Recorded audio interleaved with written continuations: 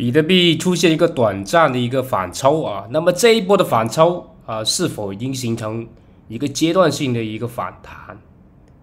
还会不会继续向下跌是吧？大家一直是关心这个问题啊，大家不必去担心啊，它还会下来啊，目前只是一个短暂性的反抽啊。我们来看一下它的一个行情啊，日线级别的话，它是走了一个比较大的一个啊。包阴的一个情况，阳包阴的一个情况，目前的话已经出现一个反抽啊，到一个两天之前的一个高度啊，两万零三百美金附近啊。那么现在的一个行情的话，仍旧是在一个跌破这个趋势线的一个下跌的一个行情当中啊，并不是说它这一波反弹它就已经奠定了一个反弹的一个基础啊，其实并没有啊，没有进行一个完整的一个突破的啊。那目前它上方的一个阻力是来到一个两万零八百美金这一带水平啊，那么这个下降通道仍旧是存在的啊，这个日线级别的一个下降通道啊，所以你不要以为它在这个位置反抽了，你就认为它能够很强是吧？啊，这一片的区域啊，接触这个蓝色的线仍旧是可以去做空的啊，下方的话止盈的位置是在啊之前的一个新低这一带啊。一千七百五十这一带水平啊，那么接下来的一个反弹之后啊，可能会快速进行回踩啊，回踩。大家去关注下方的一个位置啊，我把它画出来啊，这片啊，这片区域大家去关注的一个区域。那么之前这一波的一个反抽，我们用斐波那契去测量一下它之前的一个啊，是吧？之前的一个反抽啊，反抽。那么它现在的话，它是来到了之前的一个，嗯，零点啊，零点六幺八附近啊，是吧？之前反弹的一个位置，想要反弹，继续反弹上去。那目前它已经跌破了，仍旧是没有去反弹到零点六幺八以上的，所以接下来的一个思路的话，仍旧是一个没有突破这个零点六幺八这个压。压力位的话，依旧是继续看空的啊，没有太大一个悬念啊，依旧是看空。嗯，注意了，呃，小心它一下子去跌破。但是目前的话，有一波反抽是小级别的一个反抽啊，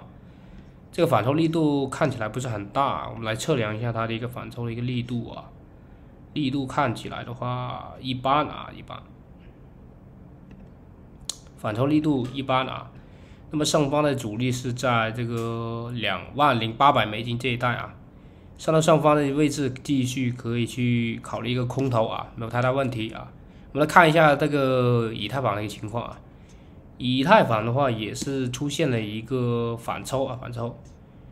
从这个一千四百啊二十美金的位置逐渐是进行反抽，但是它这个一个。通道的话是还在一个通道当中啊，还在这样的一个通道当中，大家去测量一下啊，它还在一个典型的一个下降的通道当中啊，是吧？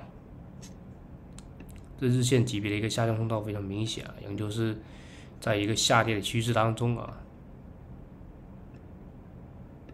很明显的一个下跌趋势啊，是吧？那么我们可以看到，它在一个日线级别的一个下降通道里面啊。那既然它在一个下降通道里面，我们要保持我们的一个反弹做空的一个思路啊。现在的话，它现在上方的一个阻力其实来到这个一千六百这一带啊，一千六百美金这一带。那么上到上方的位置，依旧是可以就是上方进行一个空头的一个选择了。它发下方的支撑是来到了一千二百美金到一个一千。三百美金这一带的水平啊，我们来看一下它的一个阻力啊，支撑是在这个一千两百八十美金这个位置。说能因为的话，它过两天的话，依旧是要去测试上方的位置。目前的话，它已经只是震一下而已啊，不要以为它反弹了啊，注意了，只要它突破这个一千六以上啊，才有可能进行反抽啊，甚至一千七百多美金的位置才有可能进行。一个阶段性的反抽，你看这个肩部是很明显的，目前的话是吧？这上方的这两片的一个肩部是吧？是很明显的一个下跌的趋势啊。如果你在这位置继续去做多的话，那大可不必啊，大可不必。考虑一下，还是以一个空头为主啊。日线级别，你看下方的位置穿零轴了啊，依旧是要向下跌。而且四小时级别的话，虽然在这一波的话，虽然这个位置出现一个反抽，你看反抽力度看起来是很强啊，但是其实是一个啊比较萎靡的一个情况啊，就是一个就好像砧板上的一个蚂蚁一样啊，任人宰割啊，就是它挣扎一下而已嘛，是吧？多空思路都看得还非常明确，现在的一个行情，你要去操作也没有太大办法，是吧？你要去亏损的话，我也不强求啊。但是的话，目前依旧是一个空头行情啊。只要它没突破一千六以上啊，依旧是保持一个空头的一个思路啊。好，我们今天的一个分享啊，主要是先说到这里。大家没点关注点关注，点了关注的话，可以去点击评论区下方去关注狼眼的一个电报群，或者是关注狼眼先啊，每天都可以去收听到狼眼的最新的一个资讯的，是吧？好，我们明天再见，拜拜。